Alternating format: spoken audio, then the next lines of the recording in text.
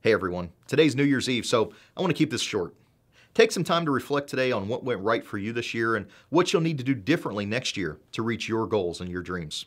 We're going to talk more about that tomorrow, but be safe if you go out and celebrate tonight. Also, a happy, happy anniversary to my grandma and grandpa Butt, uh, who would have been together 70 years today. Thanks for watching and keep moving forward.